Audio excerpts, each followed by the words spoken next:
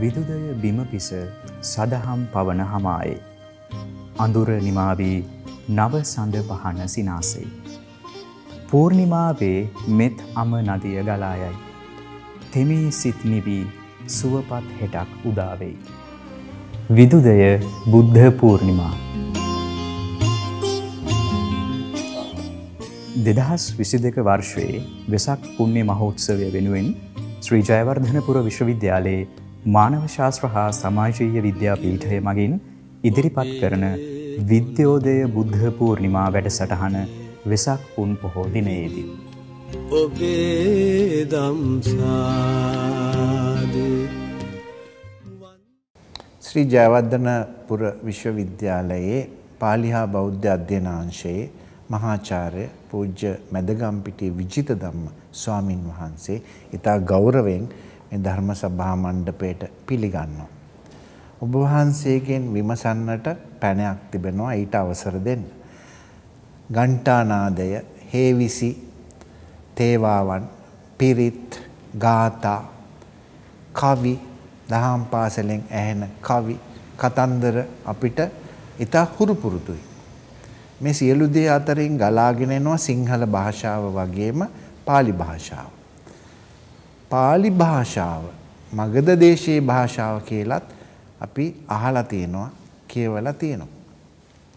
බුදුදහම බුදු සසුන ගලාගෙන යෑමේදී pāli භාෂාවෙන් pāli සාහිත්‍යයෙන් කෙබඳු පිටිවහලක් ලැබුණද නැත්නම් බුදුදහම නිසා pāli භාෂාව බැබළුණාද pāli භාෂාව නිසා බුදු සමය ලෝකේ ව්‍යාප්ත වෙන්නට හේතු වුණාද කියන එක සමහර වෙලාවට අපි ගිහියෝ හැටියට විපිලිසර වෙනවා ප්‍රශ්නයක්. ඔබ වහන්සේට මේ හොඳට පැහැදිලි කරලා දෙන්න පුළුවන් වෙයි කියලා හිතනවා මේ කාරණේ අපිට. තිරුවන් සරණයි. අපේ බුදුරජාණන් වහන්සේගේ ධර්මය අද අපි කියවල බලන ප්‍රධානම භාෂා මාධ්‍යය තමයි pāli භාෂාව. එහි පැරණි නාමය මාගදී කියලයි අපි පාවිච්චි කරන්නේ. මාගදී භාෂාව pāli භාෂාව කියන මේ වචන වලින් අපි අර්ථවත් කරන්නේ බුදුරජාණන් වහන්සේගේ ශ්‍රී සද්ධර්මය ලියවිලා තියෙන භාෂාවයි. pāli භාෂාවෙන් බුදුරජාණන් වහන්සේගේ ධර්මය ලෝකෙහි ඕනෑම කෙනෙකුට කියවලා බලන්න පුළුවන්.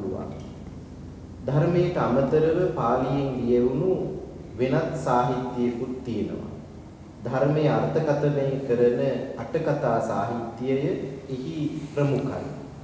ඉන් අනතුරුව ගද්‍ය පද්‍ය නිර්මාණ පාලියෙන් අපිට දැක ගන්නට පුළුවන්කම තියෙනවා. ඊ ගද්‍ය පද්‍ය නිර්මාණ අතර බහුලව බුදු ගුණ කාව්‍ය දැක ගන්න පුළුවන්. ඊටත් අමතරව බේසජ්‍ය මංජුසාවාගේ පොත්වල pāli භාෂාවෙන් ඉදිරිපත් වෙන වෛද්‍ය ශිල්පය අපිට කියව ගන්නට පුළුවන්කම තියෙනවා. ඉතිහාසයත් pāli භාෂා මාධ්‍යයෙන් ලියවිලා තියෙනවා. අපේ රටේ දීප වංශය මහා වංශේ වාගේ ග්‍රන්ථ ලියවිලා තියෙන්නේ pāli භාෂාවෙන්. මේ අනුව අපිට පැහැදිලි කරගන්න පුළුවන් pāli භාෂාවෙන් සම්බුද්ධ ධර්මයක් සම්බුද්ධ ධර්මයේ අර්ථකථනය කරන අටුවා ආදී ග්‍රන්ථ වෛද්‍ය ආදී ශිල්පීය ග්‍රන්ථ ඉතිහාස ආදී ග්‍රන්ථ රැසකුත් ලියවිලා තියෙන බව. බුද්ධ චරිතය විශ්වසනීයව කියවලා බලනවා නම් pāli මූලාශ්‍රය තමයි අපිට ඒ සඳහා පාවිච්චි කරන්න පුළුවන් හොඳම මූලාශ්‍රය වෙන්නේ. ත්‍රිපිටකයේ විනය සූත්‍ර අභිධර්ම කියන නමින් අඳුන්වන ත්‍රිපිටකයේ බුදුරජාණන් වහන්සේගේ චරිතය පිළිබඳ ඉතාම වැදගත් සංසිද්ධි අපිට දැක ගන්නට පුළුවන් කියව ගන්නට පුළුවන්. විනය පිටකයේ බුදුරජාණන් වහන්සේගේ චරිතය නිරූපණය වෙනවා. සූත්‍ර පිටකයේ ඒ වාගේමයි. බොහෝ අය බුද්ධ චරිතය විකෘති කරමින් කතා බහ කරන අද යුගයේදී සැබෑ බුද්ධ චරිතය මොකක්ද කියන එක කාට හරි දැනගන්න උවමනා නම් ඒ හැමෝම කියවලා බලන්න ඕනේ පාලියෙන් දීවිලා තියෙන බුද්ධ චරිතයයි. මේ වෙලාවේ මහාචාර්යතුමනි මම බුදුරජාණන් වහන්සේගේ චරිතයේ තියෙන ස්වාභාවික ගතිගුණ ප්‍රකට කරන වැදගත් තැනක් ඔබට පැහැදිලි කරලා දෙන්න කැමතියි. අංගුත්තර නිකාය කියන මේ සූත්‍ර පිටකයට අයිති ග්‍රන්ථයේ පංචක නිපාත කියන කොටසි තියෙනවා නාග සූත්‍රය කියලා එක සූත්‍රයක්. ඒ සූත්‍රයේ බුදුරජාණන් වහන්සේව මහා එතෙකුට උපමා කරලා උන්වහන්සේගේ ඒ ඒ ගුණ ඇතාගේ ඒ ඒ අවයවවලට සමාන කරලා විස්තර ඉදිරිපත් වෙලා තියෙනවා. දවසක් බුදුරජාණන් වහන්සේ සෙබැත් නුවර ජේතවනාරාමේහි වැඩ හිටියා. එදා හවස් වරුවේ උන්වහන්සේ ආනන්ද හාමුදුරුවන්ට කතා කරලා ඇඟපත හොදා ගන්නට සෙවැත් නුවර මිනිස්සු නාපු උබ්බකොට්ටක කියන තොටුපොළට ගියා. බුදුහාමුදුරුවෝ ඇඟපත හොදගෙන පෙන් සැනහිලා ගම් ඉවුරේ අඳනි පිටින් ඇඟේ වතුර වේලෙන්න වැඩ ඉන්නවා. ඊටාම ස්වාභාවිකයි බුදුහාමුදුරුවන්ගේ චරිතය මෙතන ඉදිරිපත් වෙලා තියෙන ක්‍රමය. මේ වෙලාවෙම රජුරුවන්ගේ මගුල්ලතා ගඟේ නාවල ඇද්ගොව්වෝ ගඟෙන් ගොඩ අරගෙන ඉගොඩට දක්කගෙන එනවා. මිනිස්සු මගුල්ලතා දිහා බලලා හරි සතුටු වුණා. අපිත් සිංහල කියමනක් තියෙනවා අලි බැලිල්ලයි බලි බැලිල්ලයි එපා වෙන්නේ නැහැ කියලා. අලිය ඒ තරම් අපිට ප්‍රියයි. ඇතා ඒ තරම් අපිට ප්‍රියයි. එදා මිනිස්සු රජුරුවන්ගේ මගුල් ලෙතාගෙන මෙහිමයි කිව්වේ. පාසාදිකෝ රඤ්ඤෝ වතපෝ නාගෝ.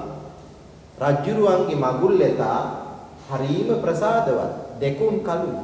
කායූප පන්නෝ රඤ්ඤෝ වතපෝ නාගෝ. රජ්ජුරුවන්ගේ මගුල් ඇතා හරි සද්දන්තයි. මිනිස්සු මගුල් ඇතා කියන මේ අර්ථය ගෙන දෙන්න pāli භාෂාවෙන් පාවිච්චි කළේ නාග කියන වචනය.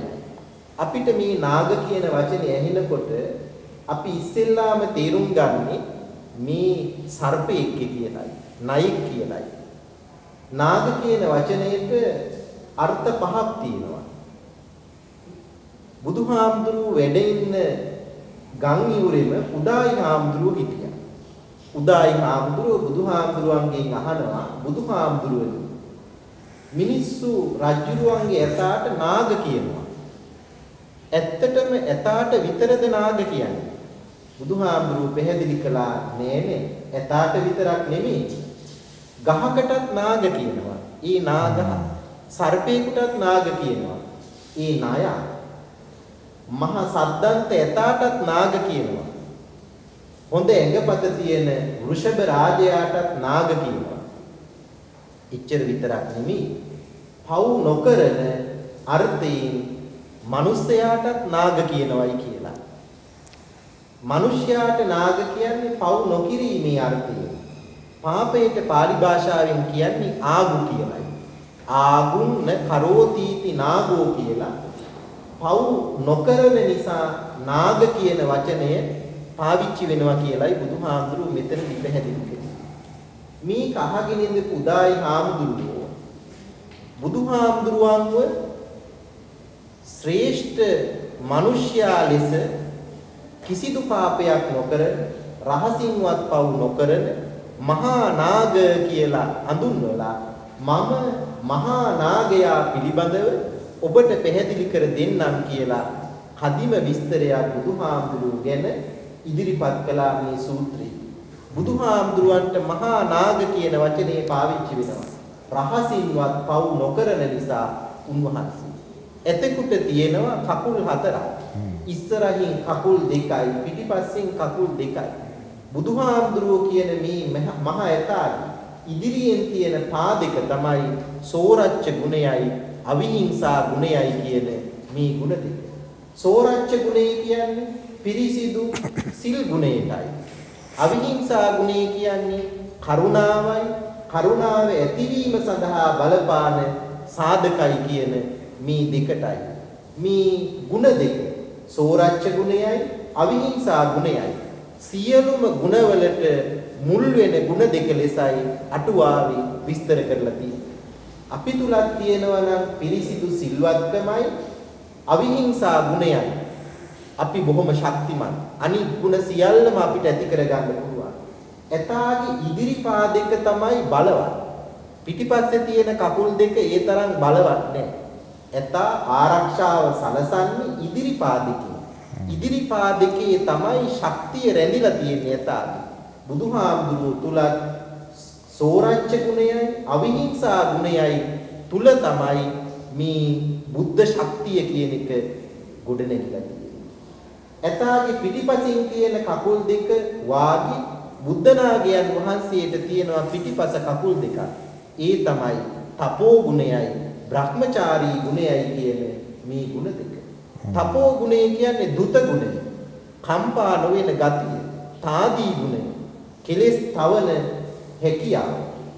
බ්‍රහ්මචාරී ගුණය කියලා කියන්නේ නිකලල් ජීවන පැවැත්ම යහපත් ලෙස දිවි පැවැත්වීම සම්මා කම්මන්ත සම්මා ආජීව සම්මා වායාම කියන නම් වලින් ආර්ය අෂ්ටාංගික මාර්ගයේ විස්තර වෙන ගුණවත්කම තමයි දිවි පැවැත්ම තමයි බ්‍රහ්මචාරී ගුණය කියලා කියන්නේ මේ ගුණ හතර බුදුදහමේ මූලික ගුණාංග හතරයි.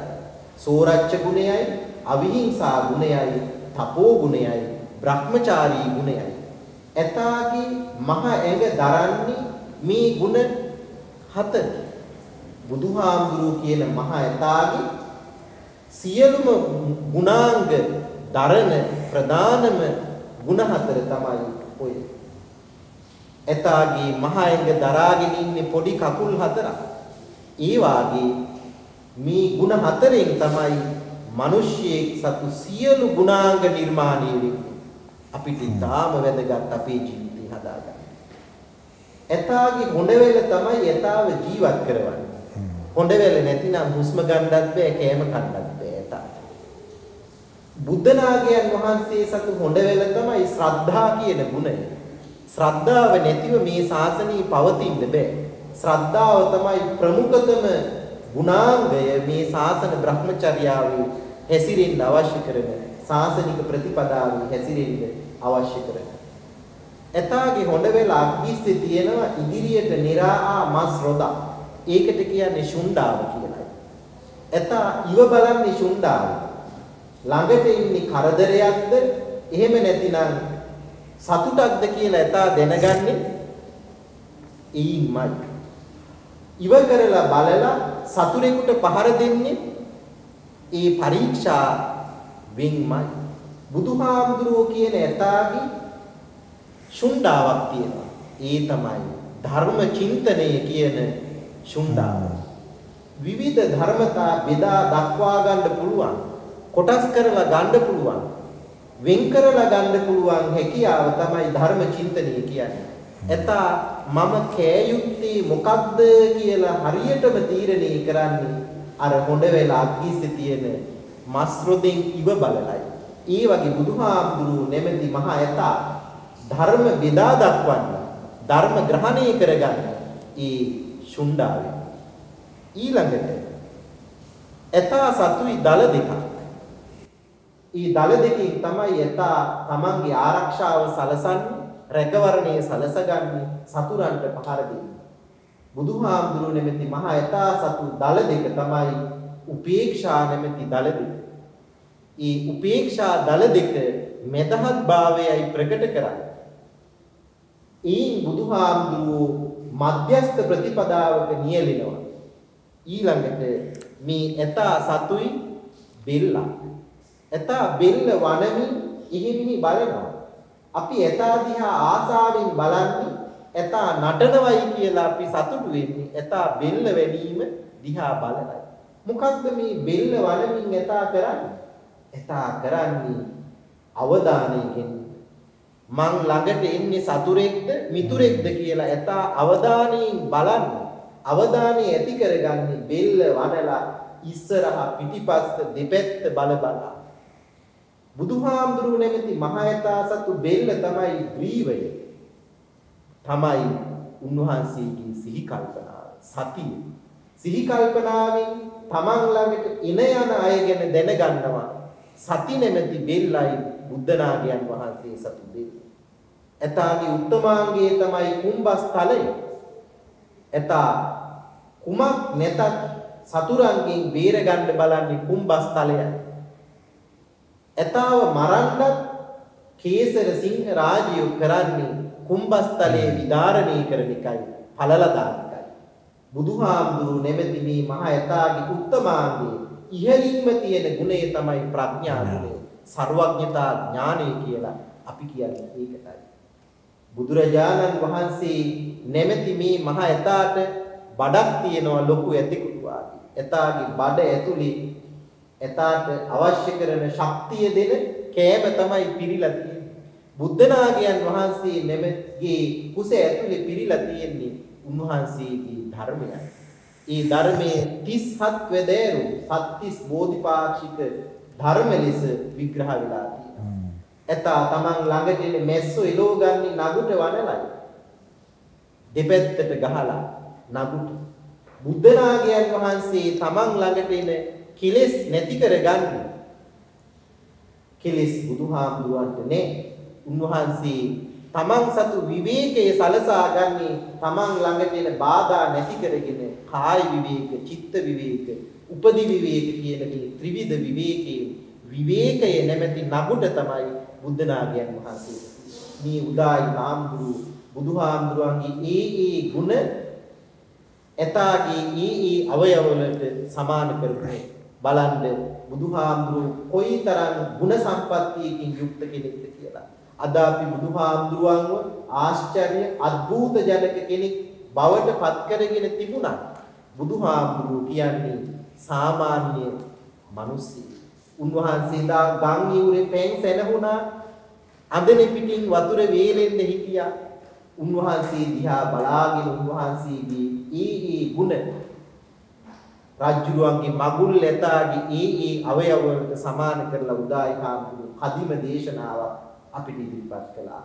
මේ දේශනාවෙන් මා ඔබට පෙන්නලා දෙන්නේ පාලි සාහිත්‍යය තුල බුද්ධ චරිතය නිරූපණය වෙන ආකාරය සැබෑ බුද්ධ චරිතය කියවන්න ඕනේ නම් පාලි සාහිත්‍යයට යොමු වෙන්න ත්‍රිපිටකයට යොමු වෙන්න කියවල බලලා අවබෝධ කරගන්න බුද්ධ චරිතයේ විසිතුරු බව දැනගන්න බුදු ගුණ ගැන දැනගන්න මේ ඇතුගේ ඊ අවයවවලට උපමා කළ බුදු ගුණ බඳු ගුණ සමුදායක් ඔබත් ඇති කරගෙන පව් නොකිරීමේ අර්ථයෙන් නාගයෙක් බවට පත්වෙන්න අදිෂ්ඨාන තබා ගන්න කියමින් මගේ පැහැදිලි කිරීම මම සමාප්ත කරනවා හැම දිනාට තුනුරුවන් සරණ වෙත්වා.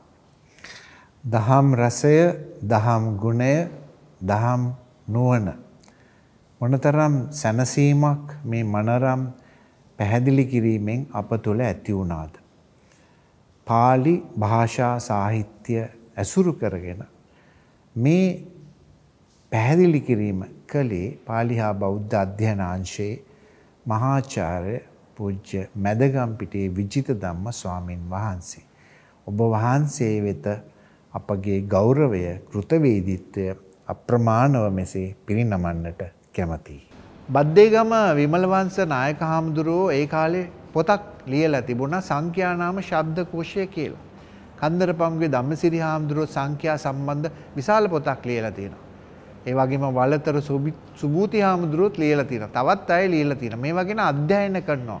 ගණන් ඉලක්කම් එක්ක බුදුදහම සම්බන්ධ වෙන හැටි. තුන් සරණ, පන්සිල්, අටසිල්, චතුරාර්ය සත්‍ය නැත්තම් සිව්සත් මේ විදිහට බැලුවම අපට හම්බ වෙනවා සංකල්පයක් සූවිසි විසි හතරක් අටවිසි බෝධි වගේම සූවිසි විවරණය.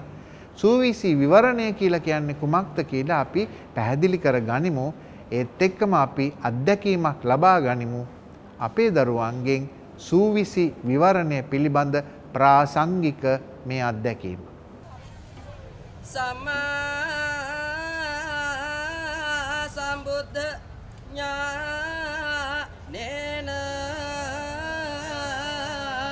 Sama sambuddha detjana sama sambuddha lo kasme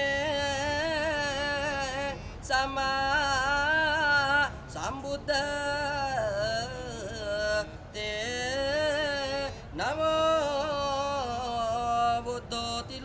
තිලෝක තිලක ඉන පංච මාරා තමං සුදුල්ලබතරා මුනිනා පනීත සංගංච සුම්පටි පදායේ ගුණෝ පේතා නිත්‍යන්නවාමි සිරසා සරණක් අනංගා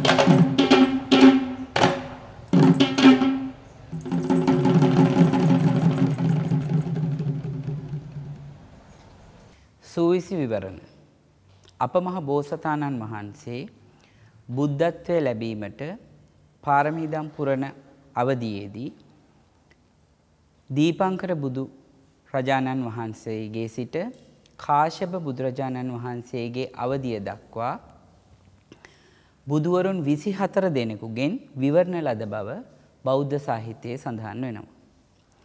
මේ විවරණ ලද පුවත කාව්‍ය සාහිත්‍යාංගයක් ලෙස සූවිසි විවරණ සූවිසි විවරණ කවි ලෙසින් අපේ දේශීය නර්තන සම්ප්‍රදායන්හි භාවිතයේ පවතිනවා නර්තන කලා සාහිත්‍ය අංගයක් විදියට. ඒ කාව්‍ය සාහිත්‍යය මෙන්න මේ විදියට සඳහන් වෙනවා. කකුසඳ මුනිදුන්ගෙන් පළමු විවරණ ලබමින කෝනාගම මුනිදුන්ගෙන් දෙවනු විවරණ ලබමින. කස්සප මුනිදුන්ගෙන් තෙවනු විවරණ ලබමින මෙවන් පැතූ ගෞතම අපේ මුනිදුන් බුදුන්. මේ අදි වශයෙන් විවිධ බුදුවරුන්ගෙන් බුදුවරු විසි හතර දෙනෙකුගෙන් විවරණලත් ආකාරය කාව්‍ය සාහිත්‍යාංගයක් ලෙස අපේ නර්තන කලා සාහිත්‍යය තුළ භාවිතයේ පවතිනවා.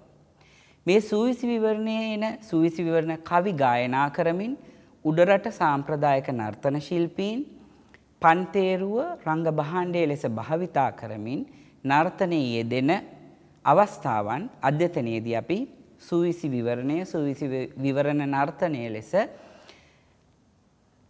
අපිට දැක බලාගන්න පුළුවන්. දේශීය නර්තනයේ සුපෝෂණය සහ චිර පැවැත්ම උදෙසා බෞද්ධ විහාරාරාමවලින් විශාල පිටු බලයක් අනුග්‍රහයක් ලැබුණ. මේ සූවිසි විවරණ නර්තනය පිළිබඳව විමසල බලනකොට නර්තනය ගායනය වාදනය කියන අංගත්‍රයම එකතු වෙච්ච පූජාර්ථ ලක්ෂණ වලින් යුතු බෞද්ධ විහාරාරාම ආශ්‍රිතව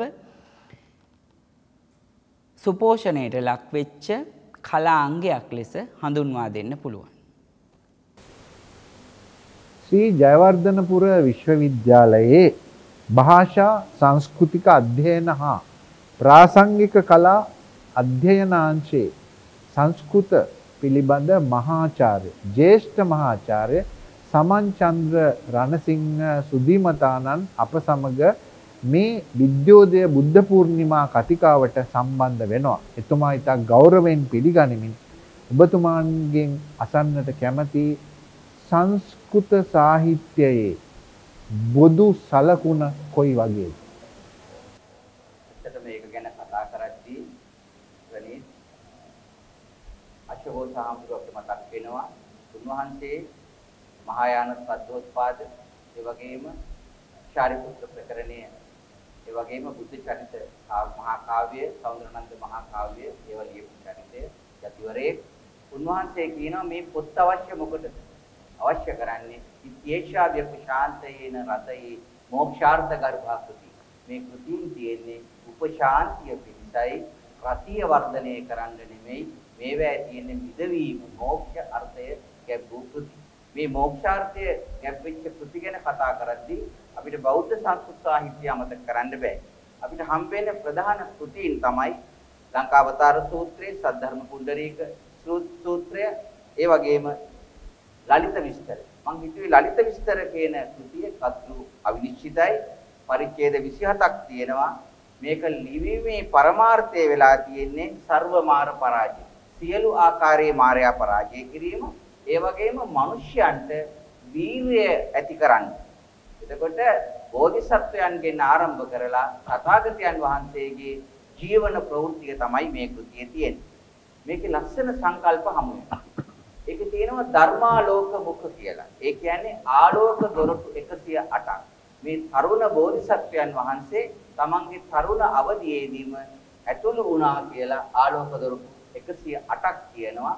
මම හිතන්නේ මේ 108 කෙසේ වෙතත් මේකෙන් 8කින්වත් අපිට ඇතුළු වෙන්න පුළුවන් වුණොත් ඒක මම හිතනවා අපේ ජීවිතය මීට වඩා වෙනස් කරයි.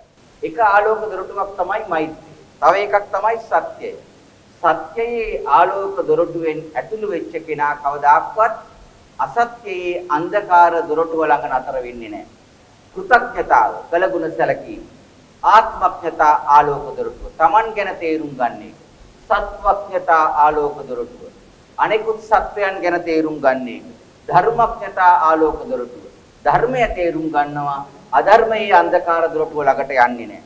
කාලඥතා කාලයේ දොරටුව තේරුම් ගන්නවා කාලය දැන ගැනීම නිහතමානීතා වීරිය නැමැති ආලෝක දොරටුව ප්‍රඥාව නැමැති ආලෝක දොරටුව. තව ලස්සන ආලෝක දොරටු දෙකක් හම්බ වෙනවා. අපිට මේ අපේ පද්ධතියත් එක්ක සම්බන්ධ කරන්න පුළුවන්.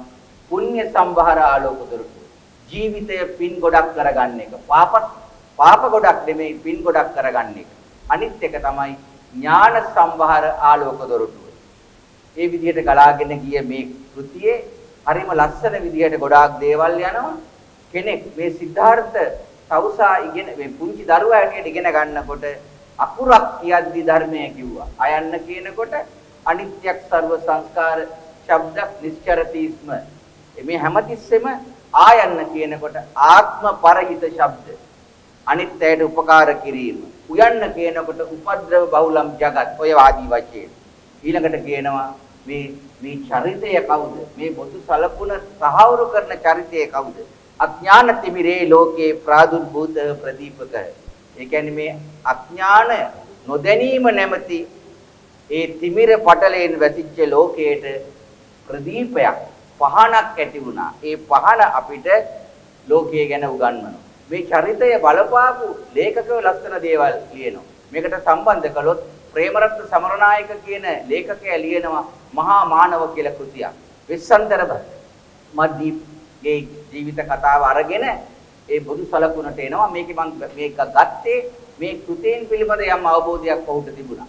ඒකේ තියෙනවා එක තැනකදී මද්දීගෙන් වෙස්සන්තර තරුණ රජතුමා අහනවා මද්දී මේ ලෝකේ ඉන්න හැම ගෑණියකගේම ජීවිතය කවියක් වගේ වුණොත් ලෝකයේ කොච්චර ලස්සන වෙයිද ඒ වෙලාවේ මද්දී දේවියගේ උත්තරය තමයි ඔව් ලෝකයේ ලස්සන වෙයි.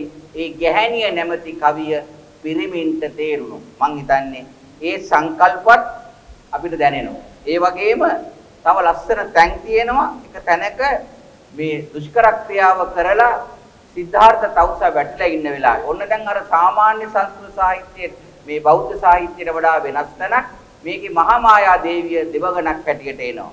ඇවිල්ලා අහනවා අසරණ වෙලා මිය යන බවක් පේන මේ තරුණ තවුසාගෙන් ආන දෙයක් තමයි හා සත්ව සාරා සදුඩක් ප්‍රතිඥා. මේ සත්ව සාරය වෙච්ච මහා දැඩි ප්‍රතිඥාවක් දුන්න ඔබ ඔබ දුන්න මම බුදු වෙනවා කියලා පොරොන්දුවක්. කෝසා ප්‍රතිඥා තව සුද්ධ සත්ව. සුද්ධ වූ සත්වයාණෙනි ඔබේ ප්‍රතිඥාව කොයිද?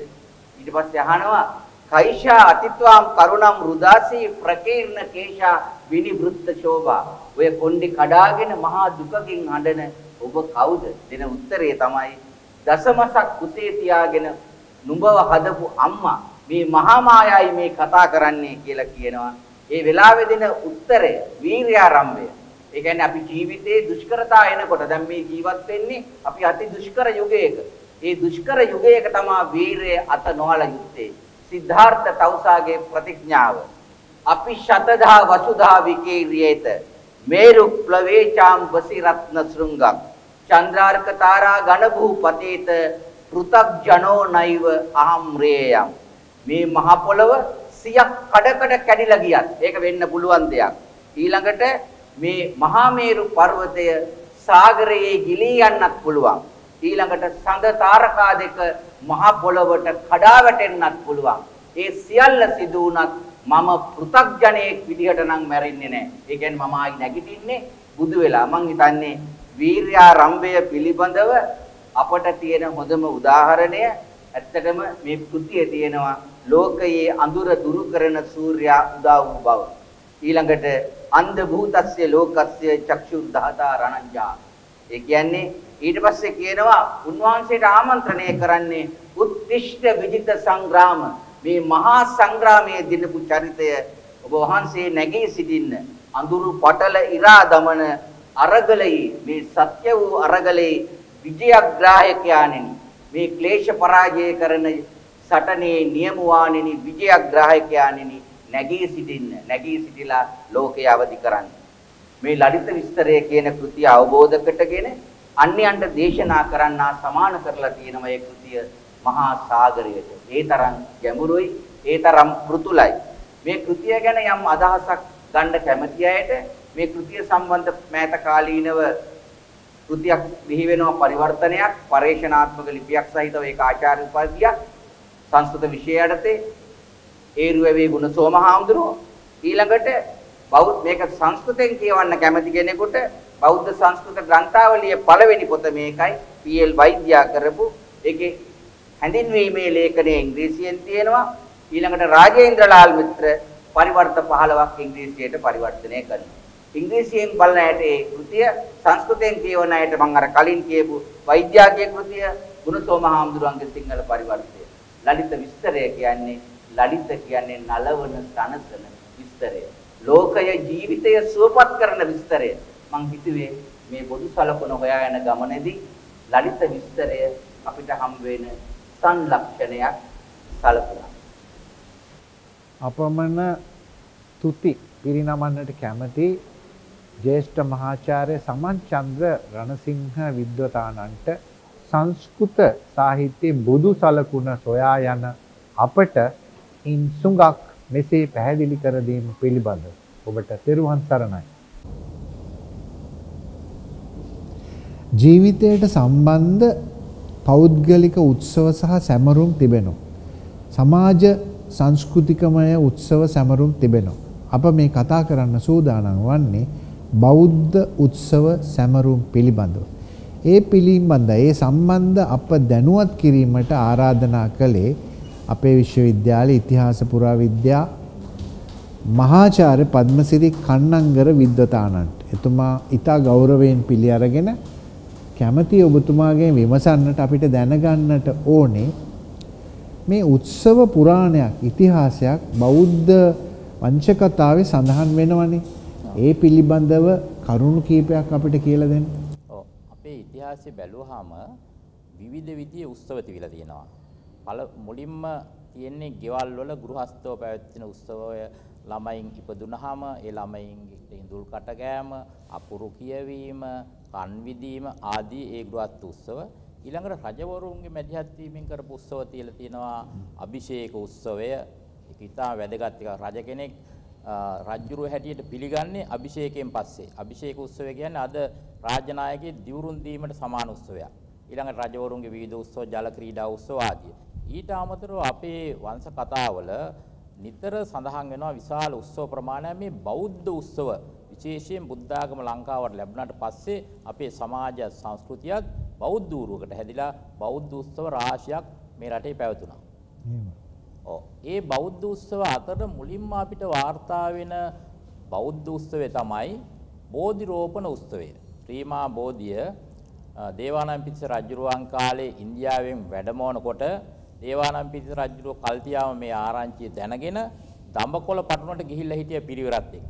ඊගාවට දඹකොළ පටුනේ ඉඳන් අනුරාධපුරයට මාර්ගය සරසලා ඉතාමත් උත්සව ශ්‍රීයෙන් තැන තැන මේ බෝධිය වඩා හිඳුවමින් උත්සව පවත්වමින් පුද පූජා කරමින් අනුරාධපුරයේ මහා මෙවුනාවට උයනට අරගෙන ඇවිල්ලා බෝධිය රෝපණය කිරීමේ උත්සව පවත්වපු බව මහා වංශය වගේම බෝධි වංශයේත් කියලා තියෙනවා. ඉතින් මේ උත්සවයට ලංකාවේ එවකට හිටිය විවිධ ප්‍රදේශවල හිටිය ජනතාව සම්බන්ධ වුණා.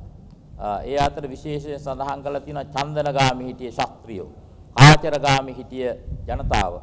ඊළඟට තිවක්ක කියන බමුණු ගමෙන් ආපු තිවක්ක බමුණ ආදීන්ගේ සම්බන්ධ වීමෙන් මේ උත්සවය ඉතා විචිත්‍රවත් විදිහට තිබිලා තියෙනවා. ඊගාවට අපිට ආයි දෙවෙනියට වාර්තා වෙන ඉතා වැදගත් උත්සවයක් තමයි රුවන්වැලි සෑයට මුල්ගල් තැබීමේ උත්සවය.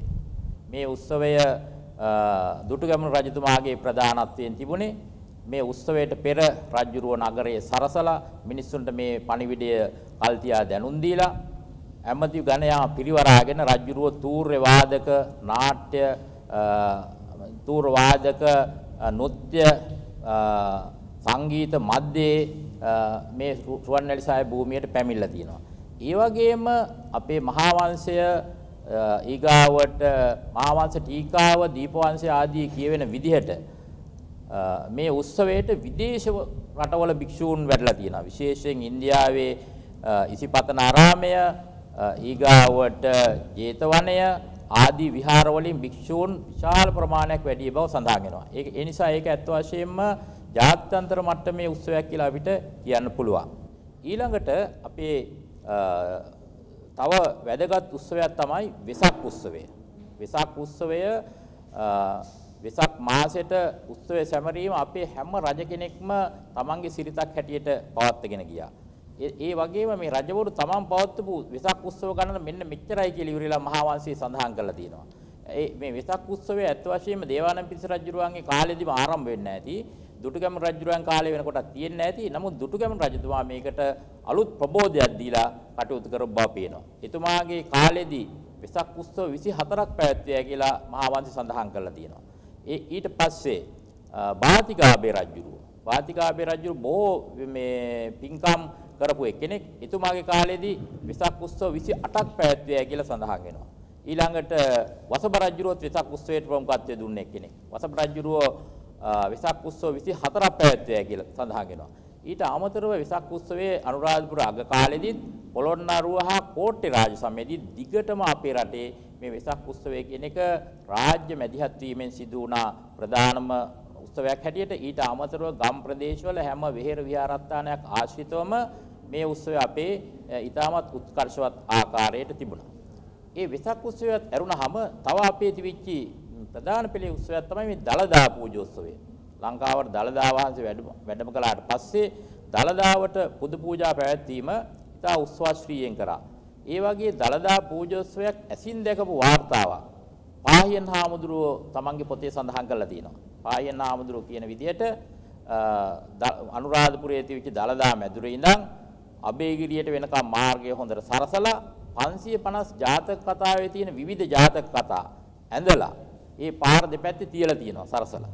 ඉතින් මේ ජාතක කතා ඇඳපු චිත්‍ර පාහියන් හාමුදුරුවෝ කියනවා සජීවී චිත්‍ර වගේ දකින්න ලැබුණා කියලා. ඊට පස්සේ මේ දලදා ඊටත් මහත් පුදසක් පුද සත්කාර මැද්දේ අබේගිරියට වඩමවාගෙන ගිහිල්ලා අබේගිරිය තැන්පත් කළා. එතන කාලයක් ආයෙ පුද පූජා පවත්වලා ආපහු දලදා මැදුරට වඩමවාගෙන ඇවිල්ලා තියෙනවා. ඒ දලදා පූජෝත්සවය. ඒ වගේම අපේ තවත් වැදගත් උත්සවයක් තමයි මේ අරිය වංශ දේශනාව. අරිය වංශ දේශනාව කියලා දේශනා පැවැත්වීම විශේෂයෙන් අනුරාධපුර මුල් භාගයේ හරියට අපේ රටේ ජනප්‍රිය වුණා.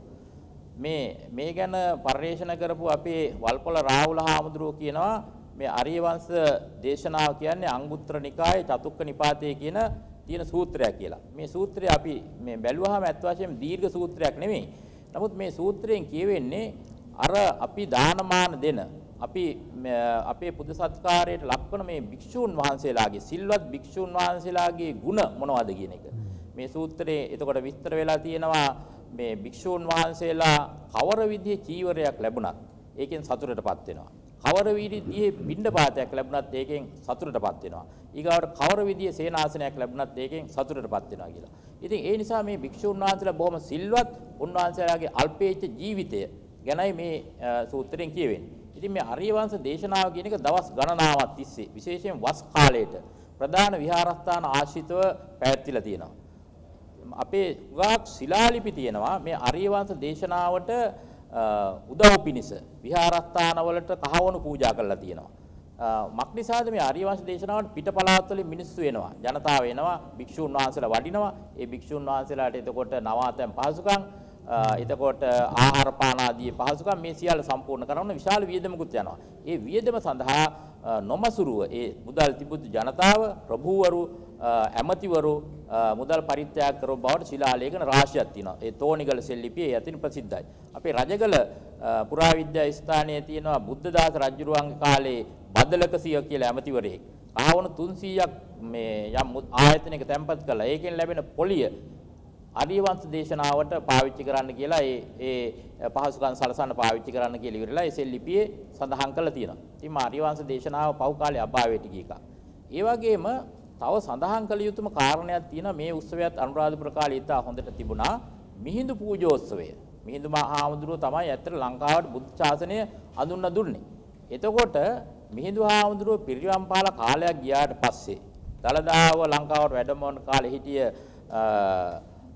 හිටිය ශ්‍රී මේඝා වර්ණහාභයකින් රජුරුව මේ රජුරුව අඳුන දුන්න මේ මිහිඳු හාමුදුරුව සැමරීමේ උත්සවයක්.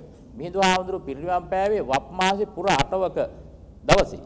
එතකොට ඒ දවස පදනම් කරගෙන කර ගනිමින් මිහිඳු හාමුදුරන්ගේ පිළිරුවක් හදලා ඒ පිළිරුව උත්සවාකාරයෙන් මිහින්තලයට ගිහිල්ලා තැන්පත් කරලා ඊට පස්සේ උත්සවාකාරයෙන් නගරය වෙනකන් සරසලා මේ පිළිරුව ආයිත් මේ මහා පෙරහැරකින් නගරයට වඩමවාගෙන ඇවිල්ලා ඊට පස්සේ නගරේ විශේෂ රජමාලිගාවට සමීපයෙන්ම විශේෂ මණ්ඩපයක් මන්දිරයක් හදලා ඒ මන්දිරය තුල මිහිඳු ප්‍රතිමාව තැන්පත් කරලා තියෙනවා. ඒ එක්කම මිහිඳු හාමුදුරුවත් එක්ක ලංකාවට වැඩම කරපු ඉට්ටිය ඇතුළු හාමුදුරුවන්ගේ රූප මේ ඒ ප්‍රතිමාවන් හදලා මේ මේ මේ විහාරේ නැත්නම් මේ නිවසේ මේ මේ ස්ථානේ තැන්පත් කරලා කියලා කියලා තියෙනවා. ඒ වගේම මේ රජුරෝ නියෝගයකුත් පනවලා තියෙනවා මේ මිහිඳු හාමුදුරුවෝ සමරන උත්සව ලංකාව පුරාම හැමදාම මේ කාලයට කරන්න කියලා.